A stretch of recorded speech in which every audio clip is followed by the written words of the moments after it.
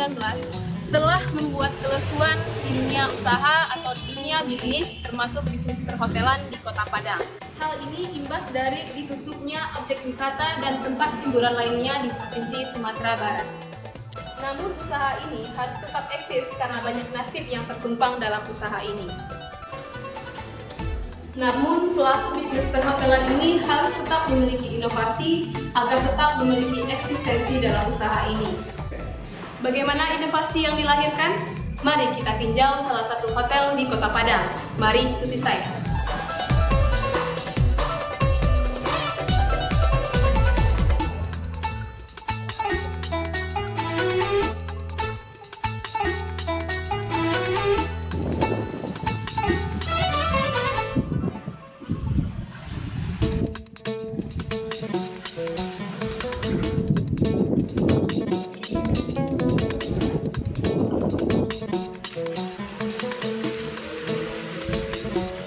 Dampak dari COVID-19 ini buat kita Kota Minang sangat terasa dari tingkat hunian yang turun drastis dah.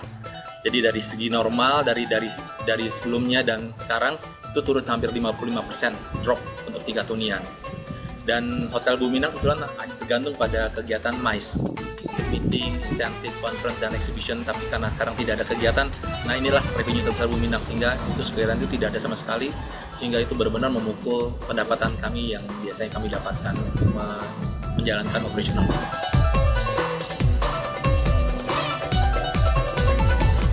Untuk saat ini kondisi memang tidak memungkinkan sehingga kami terpaksa harus memutuskan untuk karyawan itu hanya bekerja 15 hari. Pendapatan mereka berkurang 15 50% dari yang mereka biasa dapatkan.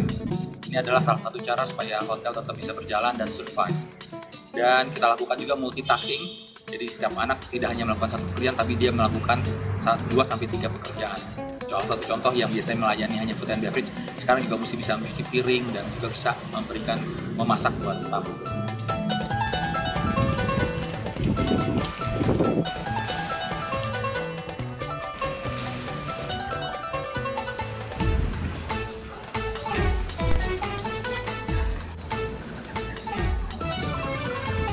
Dalam menghadapi COVID-19 ini dan supaya kita juga bisa bertahan dah, ada ide kita menguncurkan paket namanya Pak Ismat, paket isolasi mandiri. Dan paket ini ada tiga jenis, jadi kalau tamu yang mungkin budgetnya terbatas, mereka bisa ngambil yang murah, yang rumahly, atau paket yang kedua, paket yang termasuk dengan sarapan pagi, atau kalau misalnya memang pengen semuanya dilayani oleh hotel, kita siapkan paket yang full board, jadi termasuk breakfast, lunch, dan dinner. Nah paket ini kita tampilkan karena kita mau menampilkan kebersihan, higienitas di mana kamar ini setiap dua hari sekali dibersihkan dengan desinfektan dan kita juga berikan minuman herbal tea dan vitamin C. Kita juga siapkan juga laundry buat cuci pakaiannya sekalian. Jadi ini adalah salah satu solusi yang kita siapkan dalam bisa hotel ini bisa bertahan dan survive terus.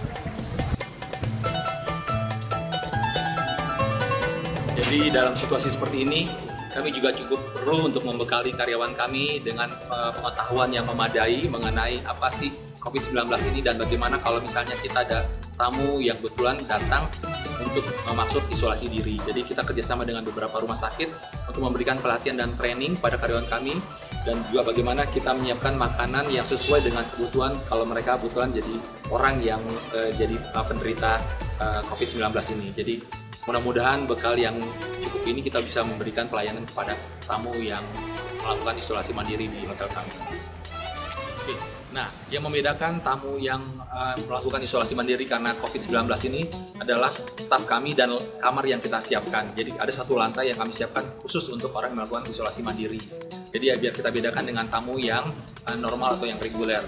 Dan kebetulan mereka juga dari segi pembersihan kamarnya pun kalau misalnya tamunya ada di kamar, jadi staf kami akan menggunakan APD. Tapi kalau tamunya sudah tidak ada di kamar, staf kami hanya menggunakan masker dan sarung tangan. Dan kamar ini setiap dua hari sekali akan didesinfektan. Itu yang membedakan uh, tamu yang reguler dengan tamu yang melakukan isolasi mandiri.